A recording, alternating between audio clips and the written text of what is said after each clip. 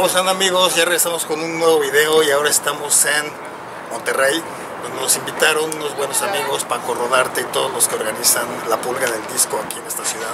Entonces vamos a ver cómo se mueve esto del vinil, etcétera, en esta ciudad, acá en el norte del país. Este es el mercado de la pulga, bueno, la pulga del disco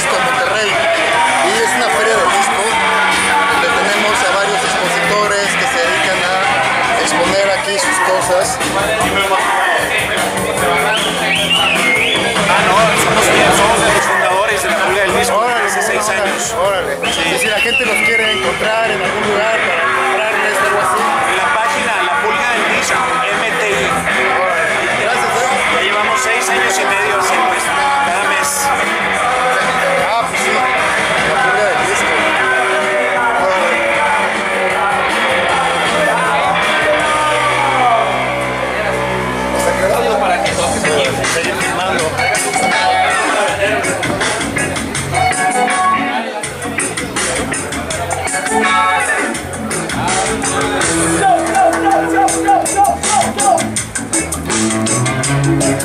Mariano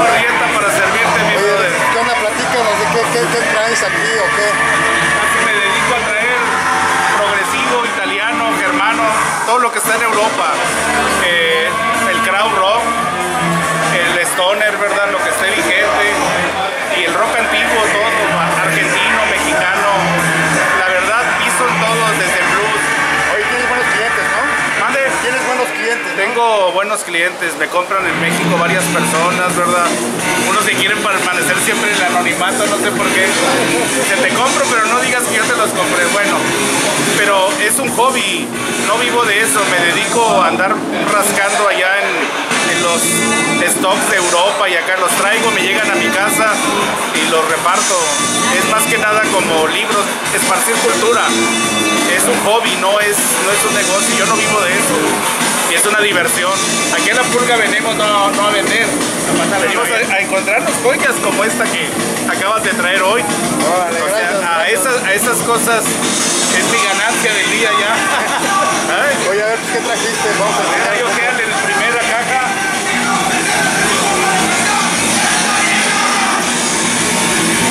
A ver, aquí tenemos.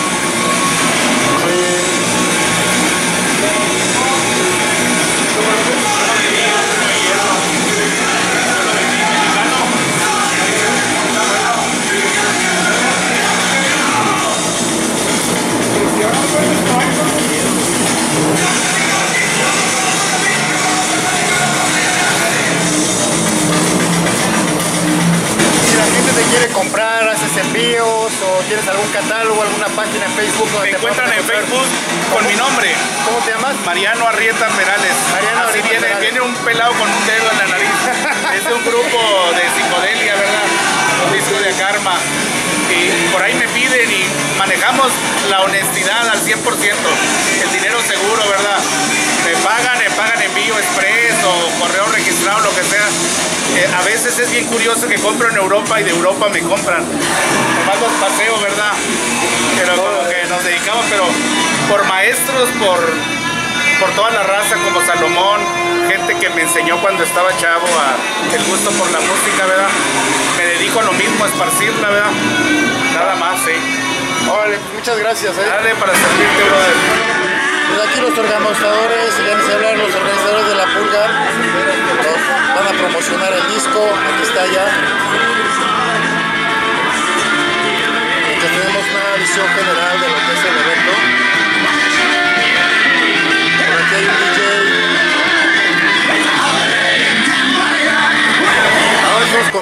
Capi, es una de las luminarias aquí en Monterrey de, de rock progresivo, hasta se ríe porque generalmente todas las personas grandes son humildes.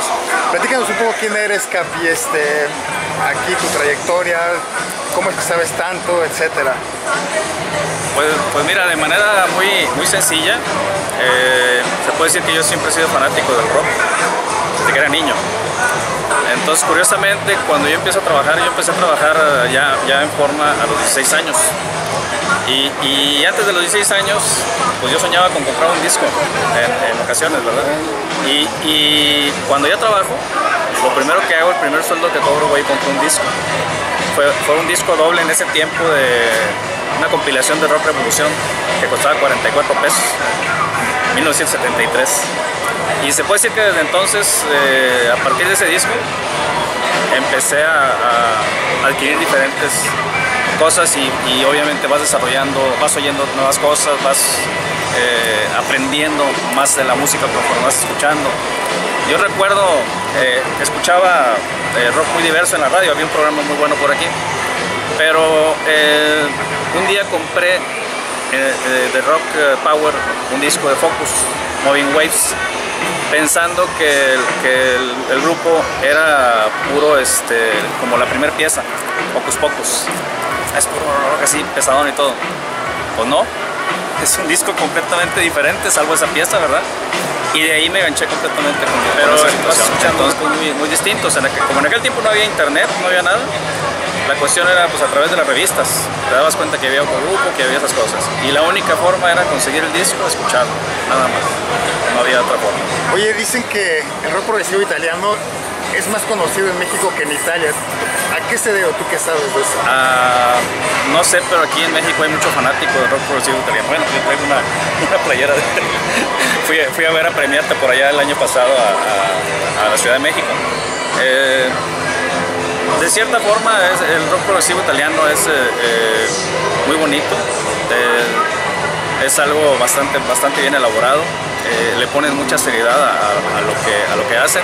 Al ser un país chico, como que ahí mismo en Italia pasan, pasan más desapercibidos que, que fuera de ahí. Y fuera de ahí pues empiezan a, construir más, a ser más, más famosos. Y yo creo que de ahí es don- donde sale que, ahí en Italia se quedan en esa parte chiquita y el resto del mundo pues, los, los aprecian más. ¿Qué piezas raras tienes ahí en tu colección de progre? No, pues la verdad ni, ni siquiera me, he puesto a pensar que tenga piezas raras. Este, o sea, yo la verdad no pienso en eso. Eh, Tengo una pieza rara y, la, cuido o alguna cosa así. No, me- he puesto a pensar. Quizás tenga piezas raras, la verdad sí, pero, este, no. A veces en- viene uno a eventos como este tipo, la pulga del disco, y encuentra uno cosas raras. Y entonces dice, uno se lo lleva. Ah, qué raro que está este disco por aquí. Y me, y me lo llevo, y ya lo tengo. Pero igual no lo considero como algo raro, sino es algo que no haya visto o, o no haya encontrado en ningún lado y de repente está por acá.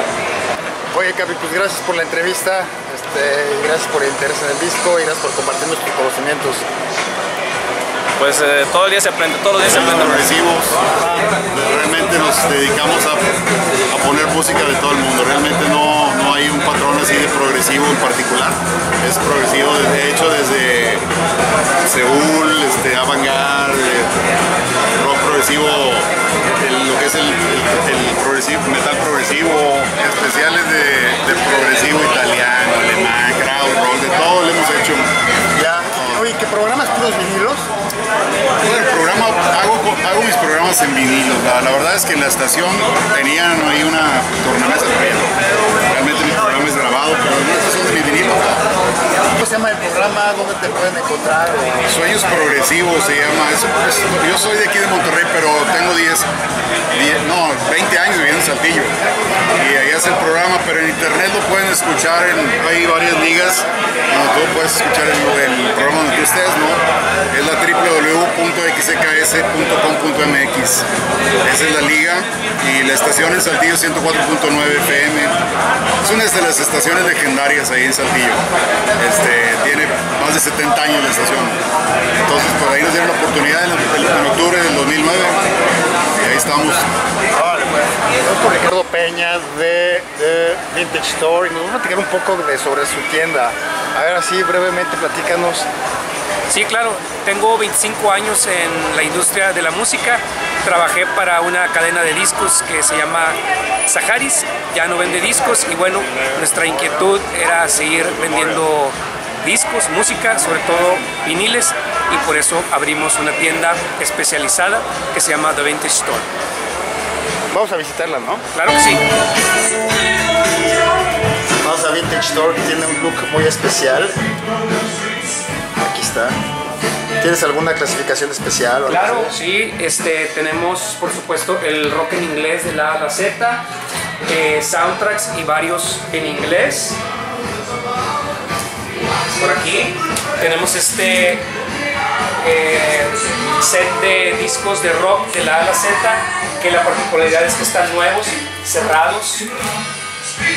Tienen entre 10, 15, 20, 30 años cerrados. Los compré yo, los guardé y bueno, ahora los estoy compartiendo con, con todos. Ese es el espíritu de la tienda. Esta es parte de mi colección personal. Tengo 40 años comprando viniles y ahora mi gusto es compartirlos con la gente. Eh, algo de lo más nuevo, ¿no?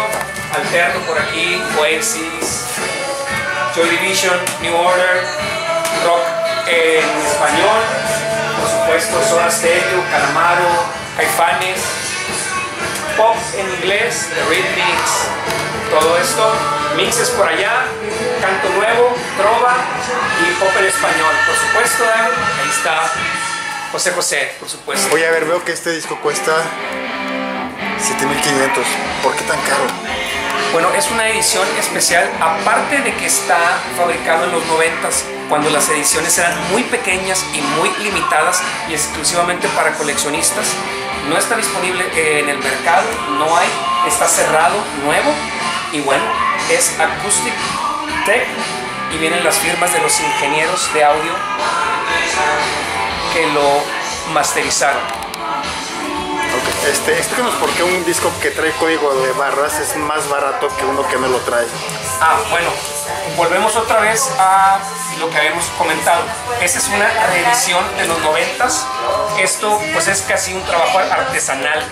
Se hacían en ediciones pequeñas y se cuidaba todo detalle, incluso que no trajera código de barra. Es decir, al quitar el celofán, este código de barra se va y queda como el original de los 70s.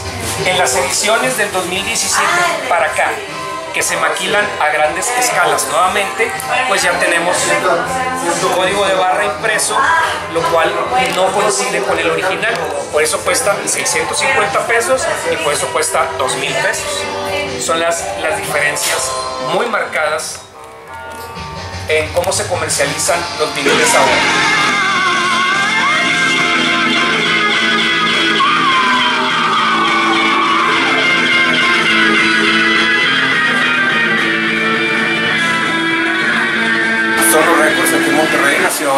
Del disco hace un poco más de un año.